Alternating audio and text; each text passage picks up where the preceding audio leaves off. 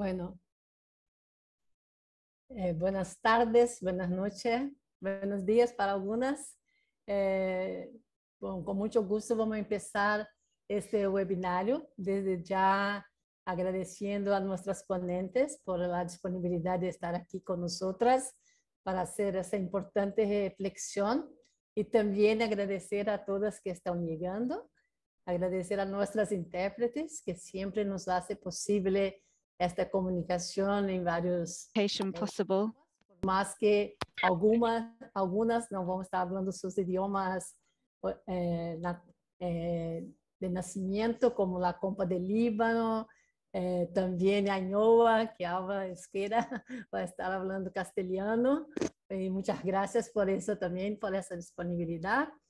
Bueno, e estamos acá então para empezar este webinário que está em um marco eh, de vários webinários que a Marcha Internacional está organizando, como parte também de nosso processo preparatório para nosso próximo encontro internacional, que vai ser em outubro, em Turquia, Ankara, eh, que, em onde, además de estarmos eh, celebrando nossos 25 anos como marcha, estaremos preparando nossa próxima ação internacional para 2025.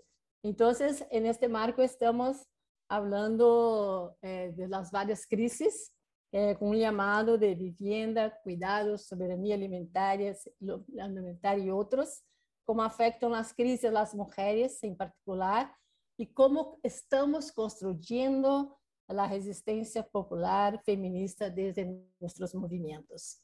Eh, por lo tanto, eh, en este seminario de hoy vamos a hablar sobre cuidados, y vamos tratando de comprender las interse intersecciones entre capitalismo, el heteropatriarcado, el racismo, el fascismo y el neoliberalismo en la organización eh, social explotadora del cuidado.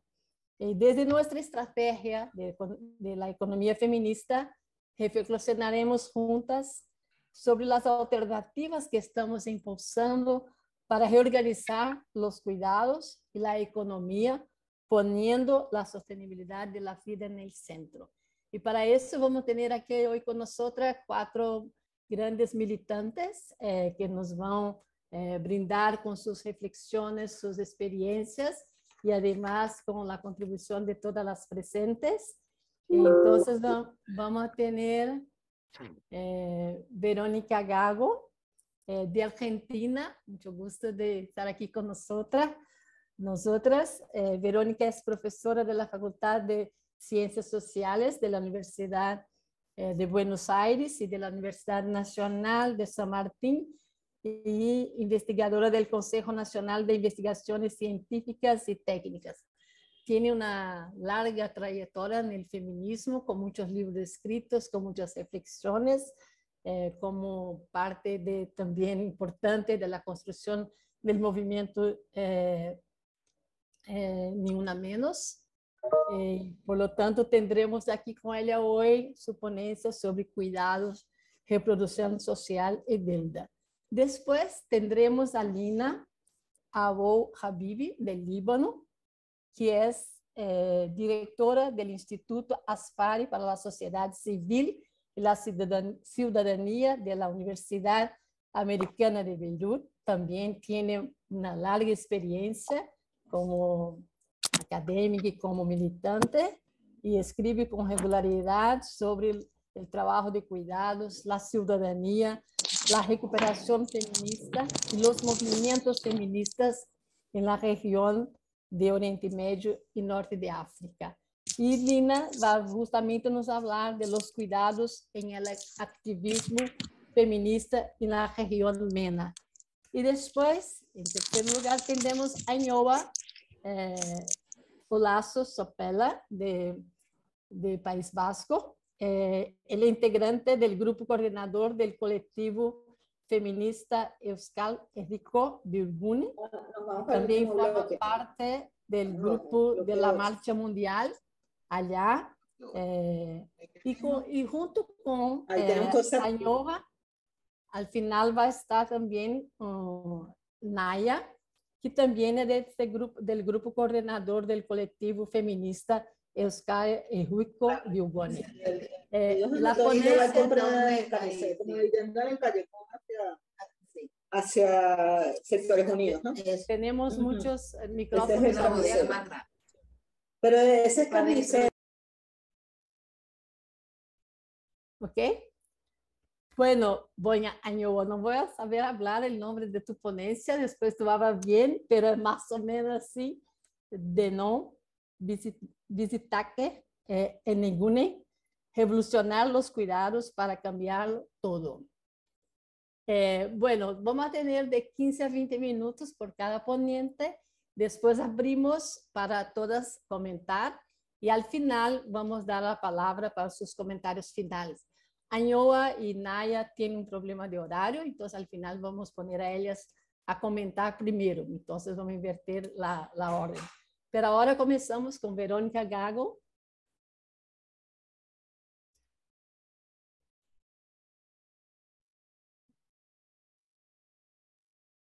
Muchas gracias, eh, Nalú, Pinar, bueno, todas las compañeras que están organizando este seminario muy contenta de, ser parte de esta reflexión colectiva eh, y además que este seminario sea parte de una serie de iniciativas políticas, ¿no? de, una saga, de una secuencia de otras formas de seguir organizando eh, dinámicas de, movimiento feminista. Así que eh, muy contenta. Bueno, yo pre preparé cinco puntos para tratar de ser bien esquemática y que podamos eh, plantear algunos ejes de, de discusión. Eh, espero que no sean más de tres minutos cada punto. Me interesa así como una suerte de, de anotación de puntos muy concretos y muy específicos que un poco presentan reflexiones que venimos haciendo en distintas colectivas, en investigaciones, eh, y bueno, que, yo vengo trabajando eh, en particular. El primer punto que, que quería plantear eh, tiene que ver con cómo seguimos discutiendo al interior de la pandemia. Es decir, contra la idea de que la pandemia ha terminado, de, de que la pandemia fue un periodo cerrado de dos años y que eh, lentamente vamos recuperándonos de ese momento de excepción, eh, bueno, yo creo que eh, podemos decir que seguimos al interior de dinámicas que se instalaron en la pandemia y que no han hecho más que intensificarse. Entonces creo que es importante una y otra vez pensar de qué dinámica de movilización política veníamos y cómo ha intervenido la pandemia en el freno y en el repliegue de esas dinámicas. Y en eso creo que es muy importante, eh, bueno, todas las consideraciones que hemos venido haciendo y compartiendo en un montón de espacios de cómo eh, la incorporación del trabajo de reproducción y de cuidados ha sido la infraestructura básica para atravesar la pandemia. Entonces, esto me parece que, nos lleva a reflexionar, por un lado, la importancia de los debates y de las construcciones de redes feministas que veníamos haciendo y que se pusieron a disponibilidad en la pandemia.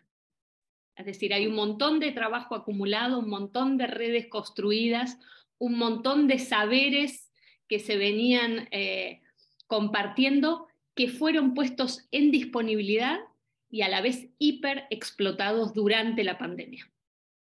Ese me parece que es un punto importante porque eh, nos ubica cuál ha sido eh, el lugar que ha tenido, eh, bueno, este acervo, tanto de lenguajes como de prácticas que venía teniendo y expandiendo el movimiento feminista y que de alguna manera fueron absorbidos, ¿no? puestos a disposición y al mismo tiempo hiperexplotados por la pandemia. Entonces, ese me parece que, es un pasaje eh, importante. Eh, y hay algo en la continuidad del momento de pandemia que me interesa subrayar, que es la actual duración de nuestras jornadas de trabajo. Cómo se han superpuesto las jornadas de tipo virtuales con las jornadas de tipo presenciales. Es decir, no hay fin de la pandemia porque seguimos trabajando virtualmente, a lo que se ha sumado y agregado las tareas presenciales. Entonces, un tema, podríamos decir, clásico del debate político, incluso de, viejas tradiciones socialistas, sobre la disputa de la duración de la jornada de trabajo, hoy vuelve a estar, me parece, muy presente para nosotras bajo nuevas coordenadas. No solo una duración en términos de cantidad de horas, sino también una intensificación bajo este doble registro virtual y presencial. Entonces, creo que ahí hay una, cuestión bien importante de cómo eh, manejamos esta cuestión de la intensificación de la jornada eh, de trabajo con este doble registro virtual presencial y que ha llegado eh, para quedarse. En este sentido, eh, la crisis que vemos hoy más fuerte tiene que ver con la crisis del tiempo, efectivamente, y con el cansancio de nuestros eh, cuerpos en general. Creo que esa, esa sensación que compartimos con, con diferencias, por supuesto, según nuestras realidades, pero que es un elemento común, es un punto fundamental para discutir la organización política porque hoy la falta de tiempo y la falta de recursos es la principal dificultad para desarrollar actividad política. Cada vez nos cuesta más tener margen de tiempo para organizarnos, para estar en una reunión, para ir a una asamblea, para sostener un espacio colectivo, y cada vez llegamos a esos lugares más cansadas, más agotadas, lo cual también genera un tipo de apatía política, ¿no? Es decir, eh, hay una suerte de desinvestimento afectivo también de ciertos espacios de militancia. No por una cuestión de elección o de mala fe, sino, insisto, por esta intensificación de las jornadas de trabajo y esta falta de recursos para sostener eh, estos, eh, estos lugares de militancia. Entonces, ese me parece que es un problema político también para, para nuestras eh, actividades, para nuestras redes, para nuestras organizaciones. El segundo eh, eh, punto que tiene que ver con esto es cómo se ha intensificado después de pandemia por la prolongación de la guerra y por la difusión y también intensificación de los desastres ecológicos esta, esta situación de, de crisis. ¿no? Y esto creo que nos permite pensar justamente cómo la crisis de la reproducción social que hemos visto en pandemia se prolonga como efectos de la guerra, especialmente a través de la inflación. Es una realidad que varios de nuestros países estamos atravesando, bueno, Argentina de, una manera muy particular, eh, con un 100% de inflación en nuestra economía, pero digo, estamos también ante un fenómeno global de inflación. Entonces, podríamos decir que la inflación es el efecto de esa guerra eh, en la vida cotidiana. Entonces, creo que hay una imagen que podemos pensar que es qué significa la guerra en la reproducción social. ¿no? Es una cuestión que vienen eh, pensando muchas compañeras de, bueno, como una característica propia del neoliberalismo es hacer la guerra a la reproducción social.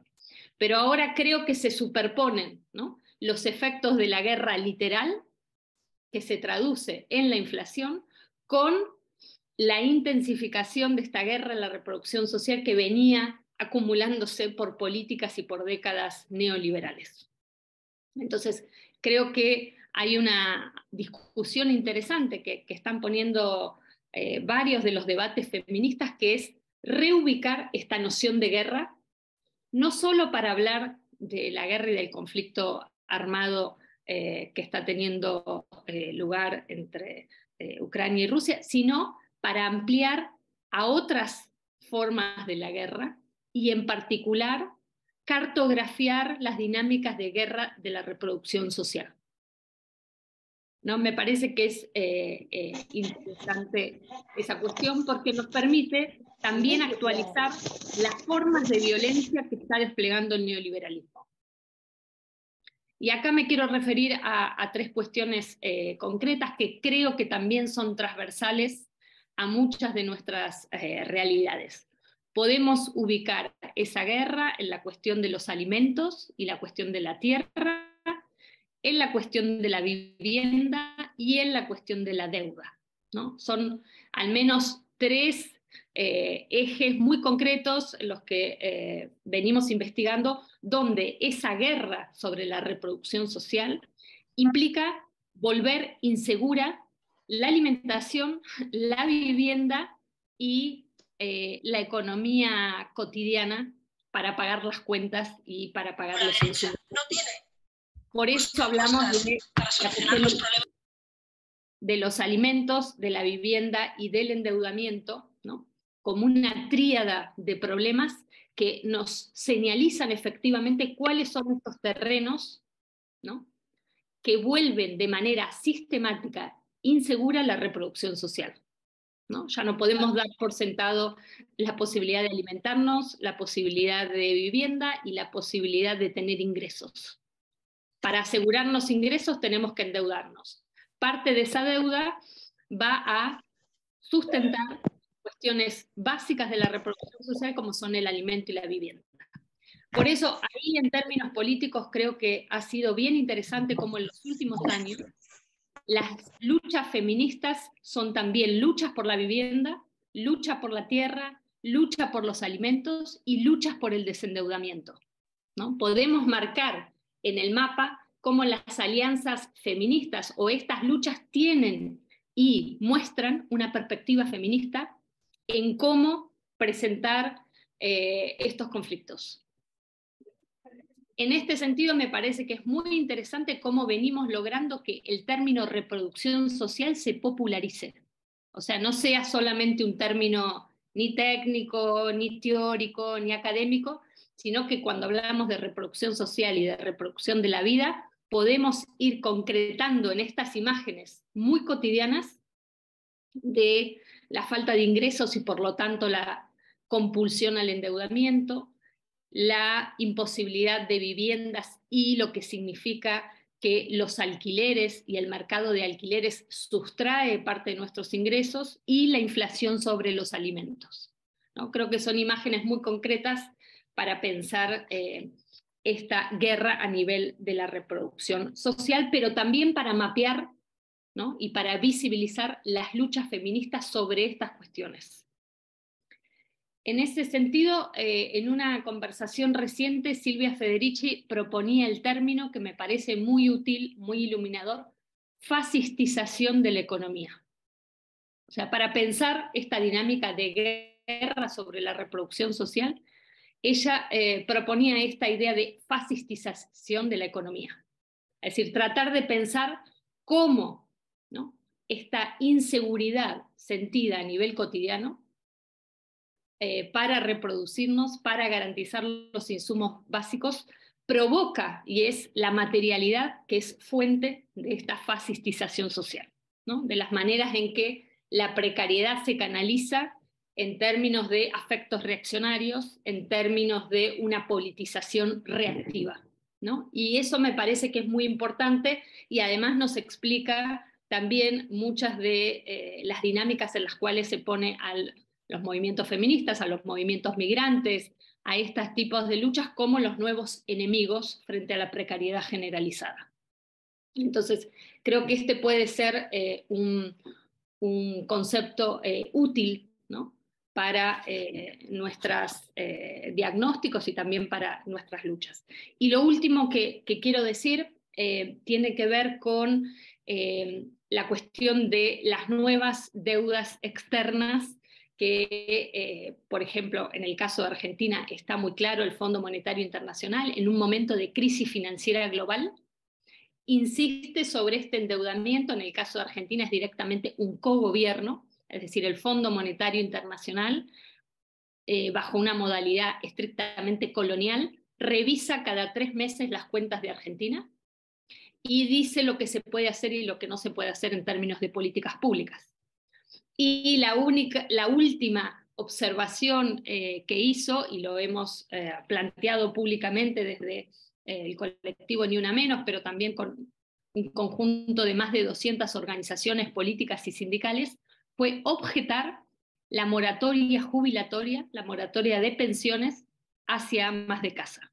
Entonces, la, dimensión de guerra también frente a un derecho eh, que se ha conquistado, que es la, moratoria previsional para quienes no han tenido aporte porque se han dedicado toda su vida al trabajo de cuidados, es un objetivo directo ¿no?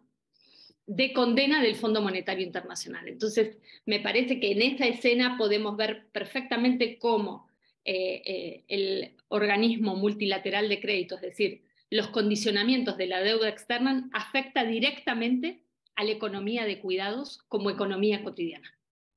Y me parece que hoy estamos en condiciones de hacer estos análisis justamente porque ha habido un montón de trabajo y de militancia feminista, de investigación feminista, para conectar estos planos ¿no? del endeudamiento externo, de cómo ese endeudamiento externo se traduce en una reducción de políticas públicas y la manera en que eso afecta principalmente a, en este caso, eh, mujeres que no han tenido aportes de trabajos eh, asalariados y que han dedicado su vida a los cuidados. Entonces, eh, quería plantear estos, estos puntos para poder seguir la conversación. Muchas gracias. Gracias, Verónica, extremadamente interesante. Nos quedaríamos escuchando por mucho tiempo. Eh, bueno, eh, yo quería, me olvidé al inicio de decir una cosa que algunas ya están haciendo, como no podemos nos presentar todas, si van poniendo los nombres y de dónde son, porque eso también nos quedamos registradas, quién estamos acá, ¿no? Y vamos, podemos echar una miradita y, saber quién está con nosotros, ¿no? Bueno, entonces voy a pasar a Lina Abu Habibi, que nos hablará de los cuidados en el activismo feminista en la región MENA. Muchas gracias, Lina. Thank you, Nalu, and I'm Muchas very, very gracias, Nalu. Es un gusto estar aquí y muchas ah, gracias a Jana por invitarme. Cuando hablé por primera vez con Jenna sobre uh, en qué marco se iba a celebrar esta conversación, se refirió uh, a la Marcha Mundial de las Mujeres. Hablamos un poco uh, de la historia y recordé que hace casi 25 años la primera red de activistas por los derechos de las mujeres que creaban red era la Marcha Mundial de las Mujeres. Así que es un placer volver a ver a la marcha en, en plena forma.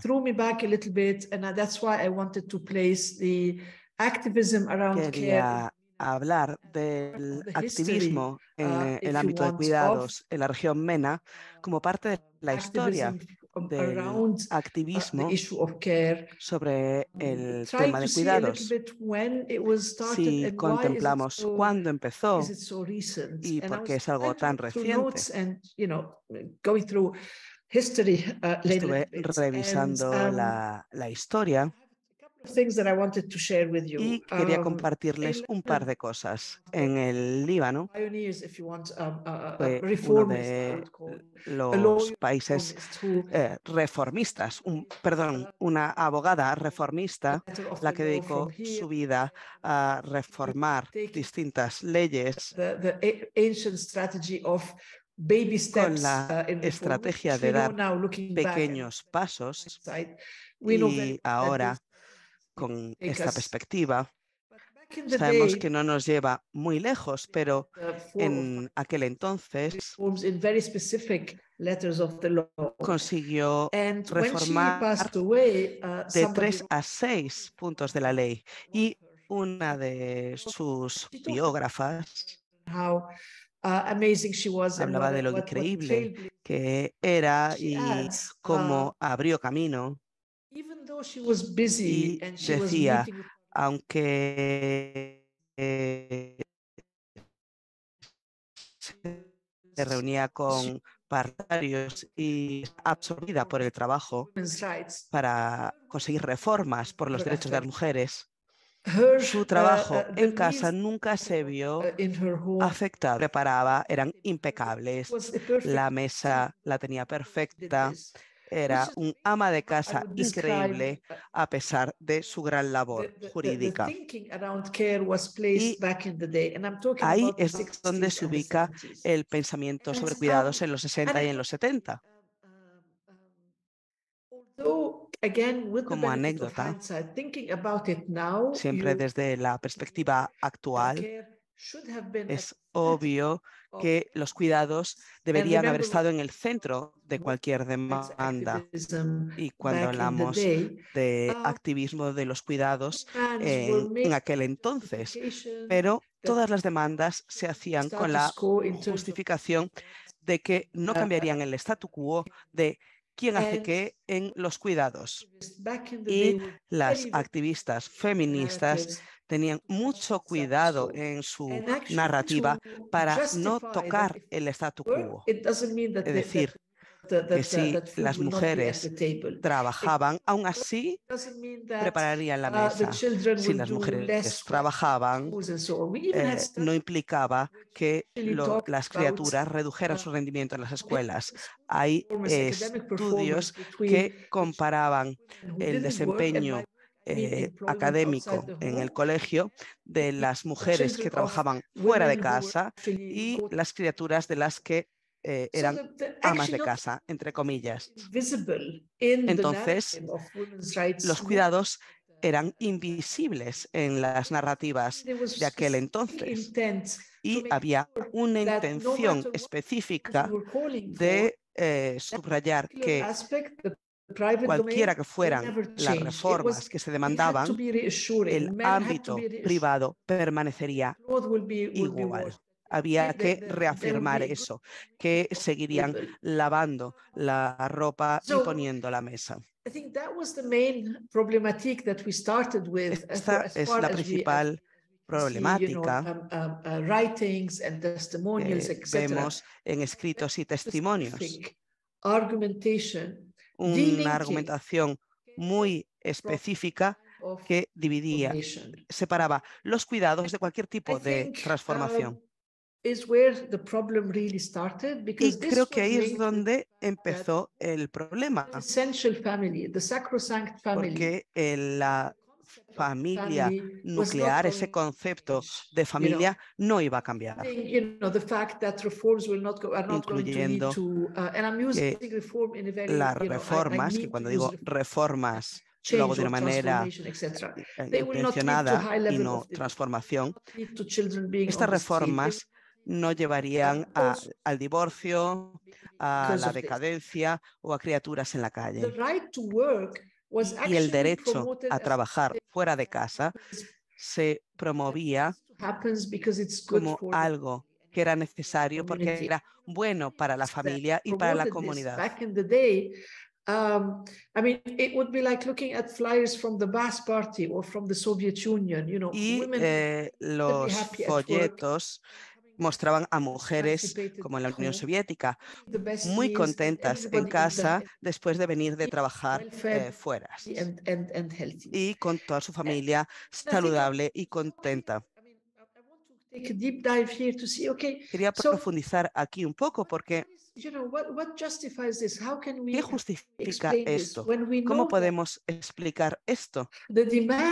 Si sabemos que las demandas que hacían las activistas por los derechos de las mujeres querían mejoras en las leyes laborales. laborales. ¿Qué significa esto? Acceso al empleo, uh, promociones en, los puestos.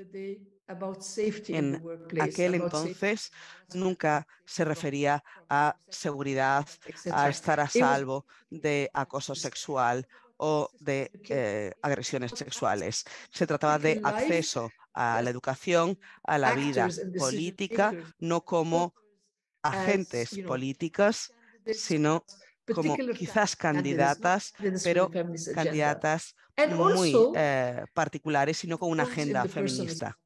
Y también la eh, reforma de las leyes de eh, Estado personal. Quienes no conozcan la región MENA, hablamos de un sistema que es intelectualmente, digamos, perezoso porque insiste en el binarismo, habla solo de dos categorías. Entonces, la reforma de las leyes familiares eh, implicaban hacer que el divorcio uh, fuera un poco menos arduo, que fuera un poco menos cruel la custodia de las criaturas, no se tocaban las finanzas.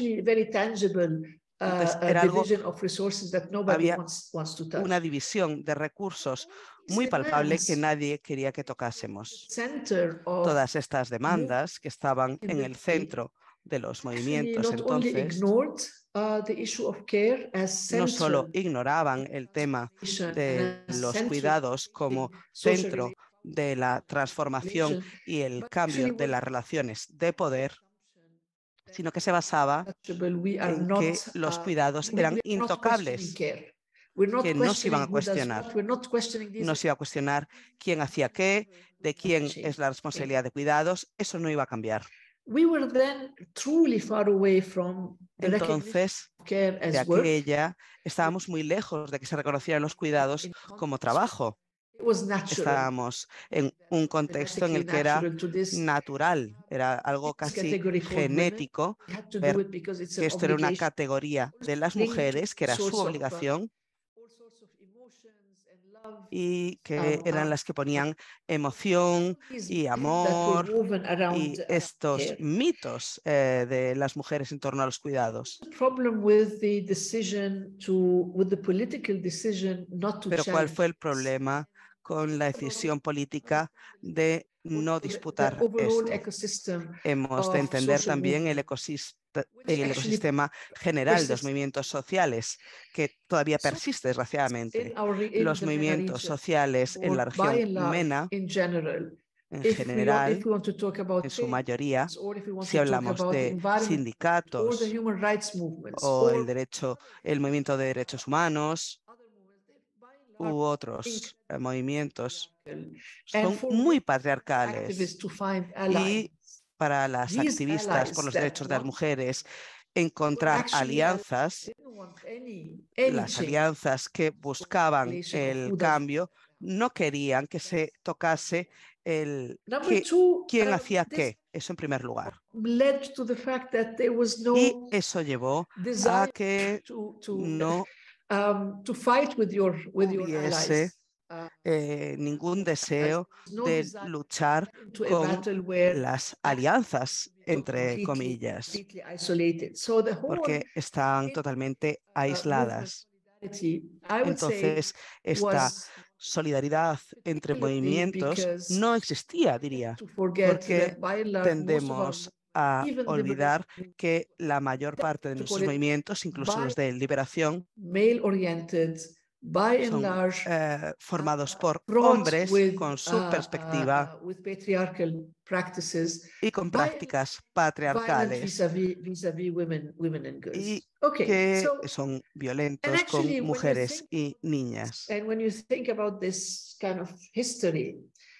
Cuando pensamos en esta historia, Ahora nos cambiamos de milenio. I'm going to, to, to, to tell you, I'm really sorry to be using the World Bank as, as a reference, but it's really not surprising. Y ahora no es una sorpresa que uh, el Banco Mundial hable de la paradoja MENA y me duele citar a, un banco y, que además uh, considero que es cierto, porque la paradoja MENA dice que por un lado los regímenes árabes han eh, hecho avances en tender puentes entre uh, la uh, educación de niñas y mujeres, es decir, que las niñas puedan acceder a enseñanza superior y que también han hecho grandes avances en su acceso a la sanidad, pero estos avances y hay lugares donde hablamos de analfabetismo también cero. Pero esto no se traduce en eh, poder económico, en participación económica, etcétera. Um, Porque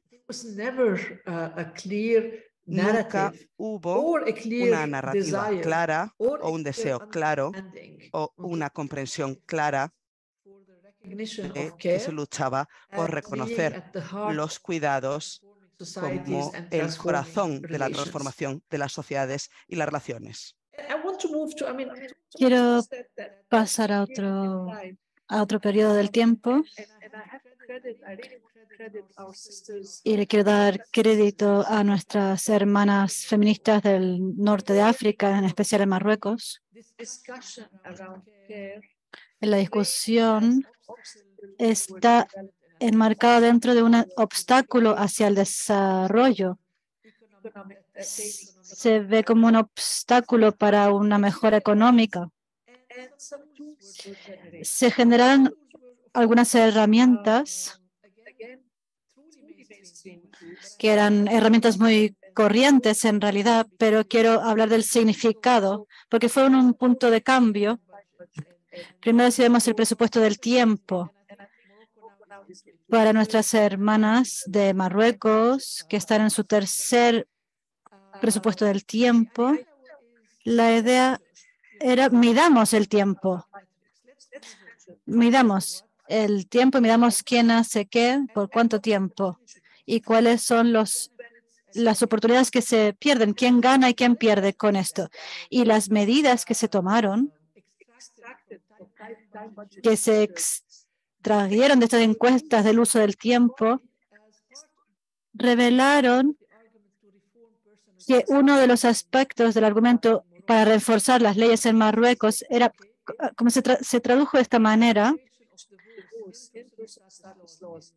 Cualquier situación del estatus personal, cualquier mujer que pusiera su trabajo y su tiempo en el hogar,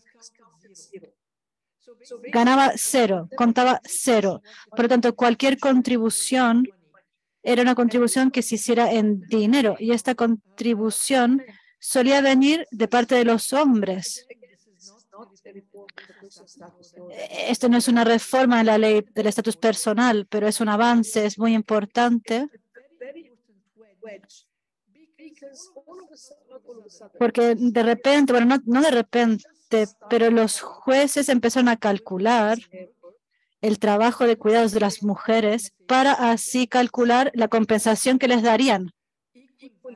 Y tiene el mismo valor que un trabajo asalariado del marido, por ejemplo. No solo esto, la contribución de las mujeres para el mantenimiento del hogar significaba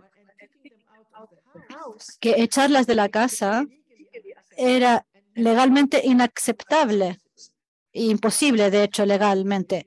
Obvio que en algunos países uno puede esquivar la ley en algunas formas, pero esta, esta reconocimiento del cuidado como un trabajo que tiene un valor, que puede tener un número como retribución que es igual que un trabajo que se realiza fuera de la casa, fue un momento de cambio radical. También,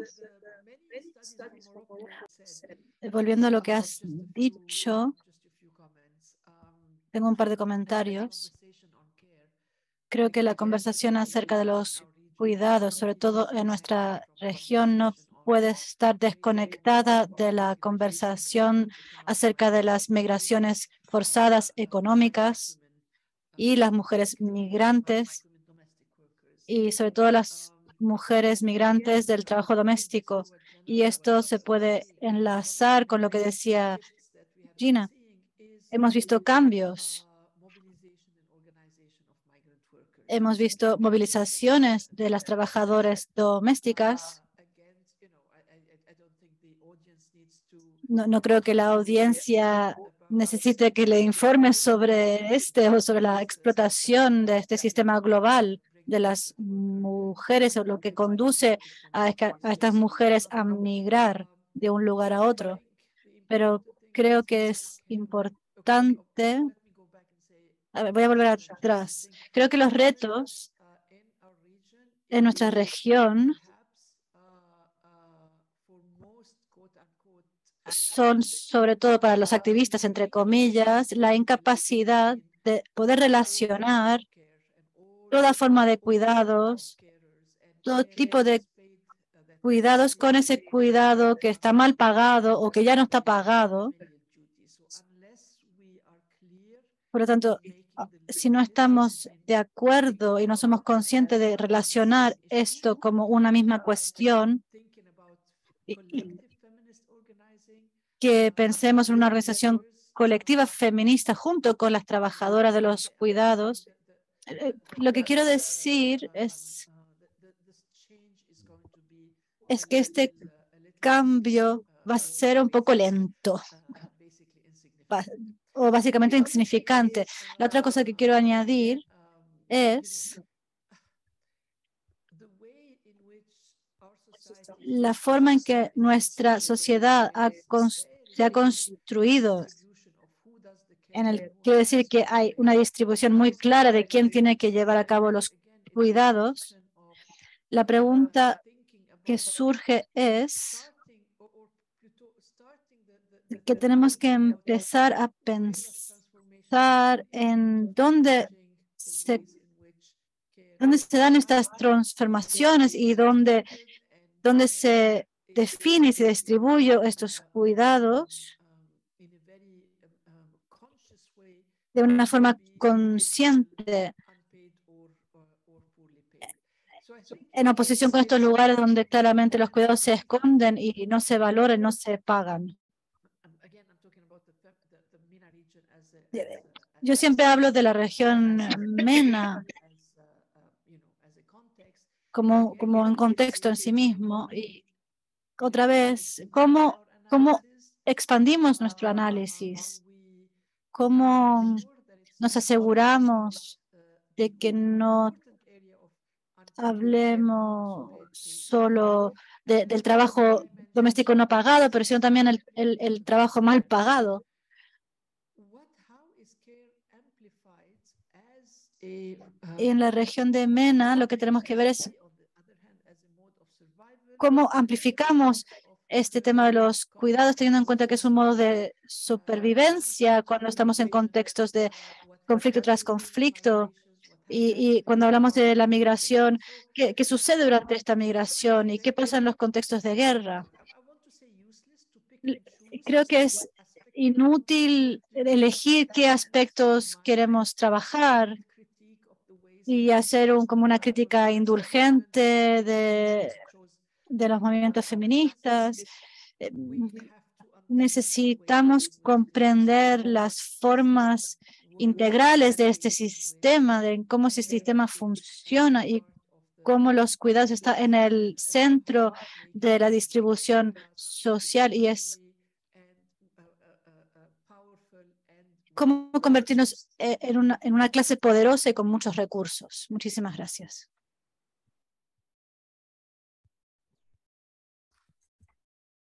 Gracias, Lina. Bueno, Verónica. Bueno, muchas gracias por, por los comentarios, por las preguntas.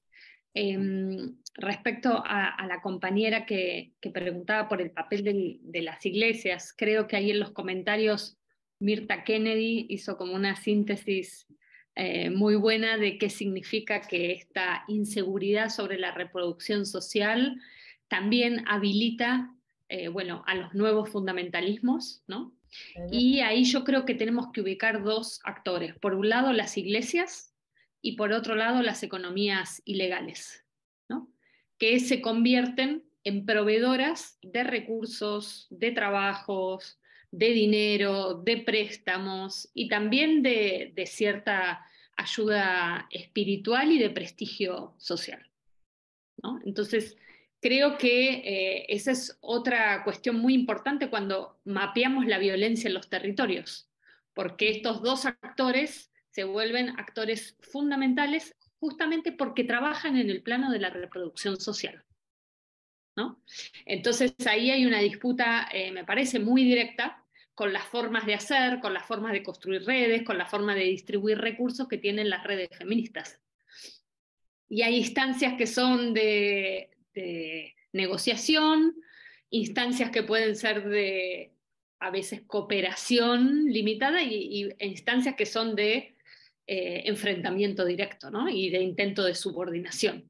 Entonces, eh, como decía la compañera, yo creo que esto hace parte de la complejidad de los territorios de la reproducción social, donde, eh, digamos, las dinámicas feministas no están solas, sino que están justamente con estos actores que son también actores económicos y políticos y actores de la violencia en los territorios, violencias de distintos tipos, eh, pero también son actores que, insisto, ofrecen recursos, ofrecen contención eh, y hay una disputa también en términos de subjetividad, especialmente hacia los más jóvenes, ¿no? las personas más jóvenes. Entonces, eh, creo que este elemento es fundamental para cuando hacemos análisis de, economía feminista y de cuál es el mapa de los recursos, de los cuidados y de las violencias en los territorios. Eh, y respecto de lo que, planteabas vos, Nalu, eh, creo que ese clivaje es fundamental, ¿no? Cuando se intenta capturar como el lenguaje de los cuidados y ciertos recursos que estamos demandando para cuidados, en una clave en Argentina se usa mucho la metáfora de parche, ¿no? Intentar tapar, eh, bueno, una situación escandalosa en términos de empobrecimiento, de falta de tiempo, de mandatos de género que se refuerzan con la situación de crisis. Eh, y en, ese caso, eh, me parece que marcar esta distinción de que cuando hablamos de cuidado no estamos hablando de dádivas, ¿no? ni de los organismos internacionales, ni de políticas que refuerzan los mandatos de género frente a la precariedad, me parece que, es muy importante y en eso yo creo que hay muchos sistemas de alerta ¿no? por parte de las prácticas feministas de poder delimitar eh, esas cuestiones.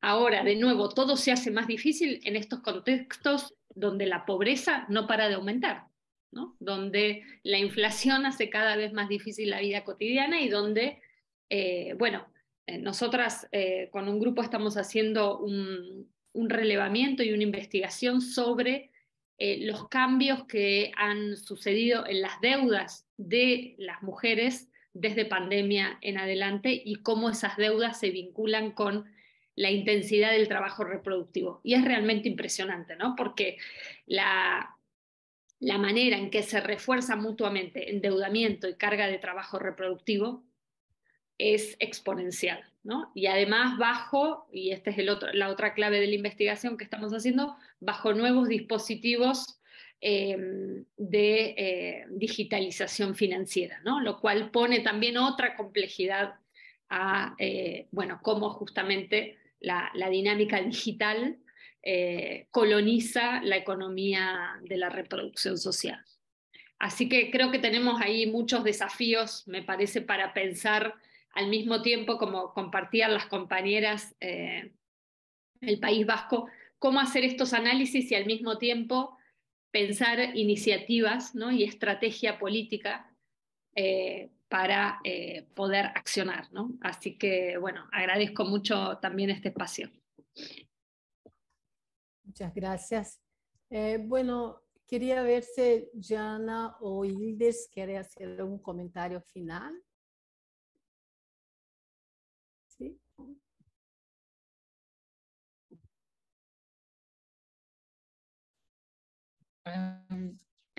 Yeah, this is one of the reasons that we sí, esta es una de las um, razones por las cuales hemos elegido la crisis de los cuidados como uno de los temas más importantes y uno de los temas que queremos trabajar también en la reunión internacional. Este sería nuestro cuarto tema sobre alternativas justas. Es importante que comprendamos juntas esta crisis y luego poder proponer formas alternativas de cómo podemos organizar las necesidades de cuidados de nuestras comunidades en relación con esta crisis, porque es una cuestión de vida o muerte. Ahora mismo nuestras sociedades son sociedades en modo supervivencia, como indicó Verónica, y basada en la entrevista con Silvia Federici, es, es que la precariedad significa vulnerabilidad. Y también hemos visto durante la pandemia y también en otras experiencias basadas en el cambio climático, los terremotos, inundaciones, incendios, hemos visto que la mayoría de nuestras sociedades son, se pueden disponer de ellas, se pueden tirar. Entonces, cuando hablamos de la macropolítica y vida, perdón.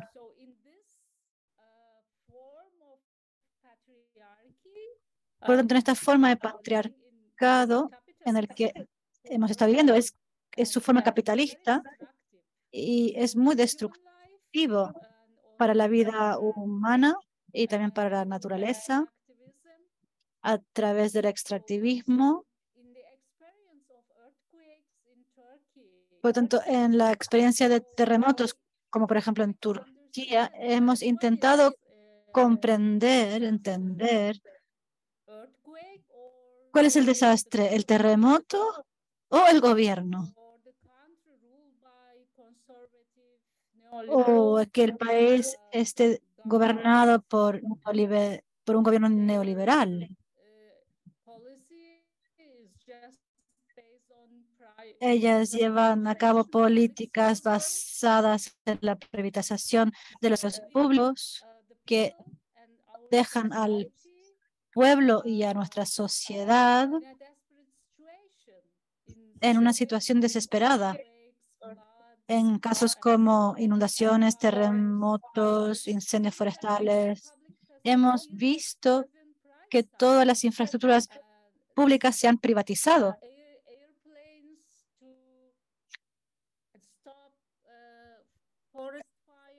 Los aviones para frenar las, los incendios son privatizados. En el caso del terremoto no había no había ninguna estructura gubernamental o del Estado que pudiera ir a la región del terremoto y ayudar a las personas afectadas. Por lo tanto, en, este, en esta cuestión es importante tener esta discusión dentro de nuestras organizaciones feministas y tener propuestas y, luchar y, enfrentarnos a esto con dignidad y es, importante luchar por el derecho de vivir dignidad, con dignidad y que, y que la supervivencia tiene que ser digna también. Y creo que esto es uno de los objetivos de la economía feminista. Tenemos que mm, expandir la categoría de derechos humanos como, como feministas, porque hoy en día es nuestra responsabilidad como ya hemos hablado en otros webinarios. En esta forma capitalista del patriarcado, el capital es una amenaza a la vida y por lo tanto la liberación de las mujeres significa la emancipación de todos los seres vivos, en realidad humanos y naturales, y también de nuestros territorios. Es por eso que hoy hemos estado discutiendo las alternativas feministas y otras formas de organizarnos y organizar los cuidados y, llevar esta carga y sacarle esta carga a las mujeres para ver cómo podemos organizarnos y tener propuestas más colectivas de cubrir estas necesidades de las sociedades, porque es imperativo, es necesario para mantener nuestras vidas no solo las vidas humanas, pero la vida en general en el planeta. Muchísimas gracias por todas las contribuciones que han hecho. Son muy valorados por nosotros, muy valiosas.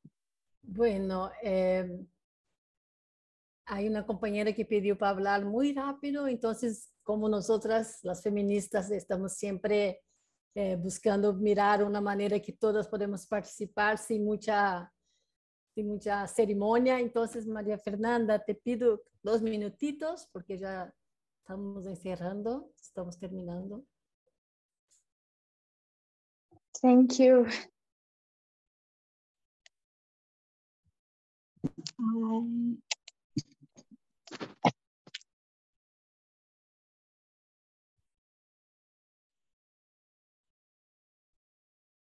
Maria Fernanda?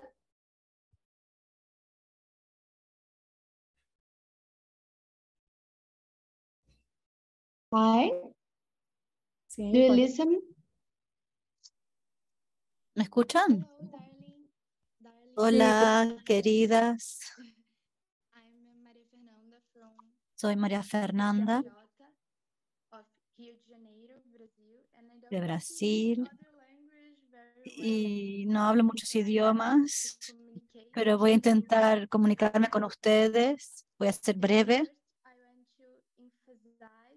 Quisiera enfatizar la importancia del diálogo interseccional acerca de la crisis de los cuidados global y estas ponencias me han recordado una frase de una activista norteamericana, Angela Davis, que dice en su libro que pensar en el feminismo es pensar en proyectos y vivir una organización social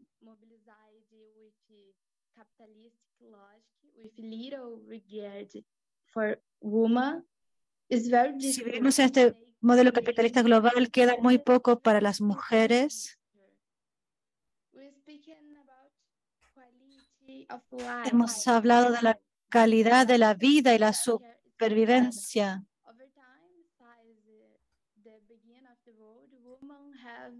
En los inicios, las mujeres tenían solo la responsabilidad de los cuidados, sin que nadie cuide de ellas. Incluso hoy en día, las mujeres no tienen es- cuestiones esenciales aseguradas. Se reproducen actitudes misógenas que impiden romper con las cadenas. Gracias. Y la pri- privatización también. ¿Se me escucha? You. So that we That- can talk more about these topics that positive move our lives. Care. Lo que quiero decir al final es que el- los cuidados están en el centro de nuestra vida y sin los cuidados no seríamos nada. Gracias. Gracias, María Fernanda. Bueno, eh, agradecer otra vez a todas, a Verónica, a Lina, a Inoa, a Jana, que trabajó tanto para la organización de este webinar y todas las compas eh, del Secretariado Internacional. Agradecer a Yudis por, por, lo que ha- por ter eh, hecho una, un- una clausura muy muy apropiada para el debate que estamos haciendo ahora y que refleja mucho lo que nosotras eh, de la Marcha Mundial de las Mujeres estamos en construcción. Creo que acá hemos tocado realmente los puntos claves de nuestras disputas en este momento, en este conflicto capital-vida, eh, y, y fueron apareciendo así de uma maneira muito conectada, que vamos justamente percebendo essas conexões, e incluso isso nos dá as bases também para seguir lutando e aprofundizando, e profundizando nossas alianças e nosso movimento em nível internacional. Muchas gracias a todas, a las participantes, a las ponentes, a las intérpretes. E no próximo mês estaremos acá com outro webinário e esperamos que todas possam regressar para que seguimos acumulando nesse debate. Saludos, compañeras. Chao. Saludos. Gracias. Thank you so much, Nalu. Muchas gracias, Nalu. Chao, chicas. Chao. Adiós. Un abrazo para todas. Chao. Chao, Mafalda. Women of the world, all of verte. The march to freedom goes beyond every season. The reason on our intention to fulfill this graceful! It's not fiction, cause it's stronger than addiction. It's not oblivion. See how this is worth marching for. This universal ambition is for the emancipation of the woman.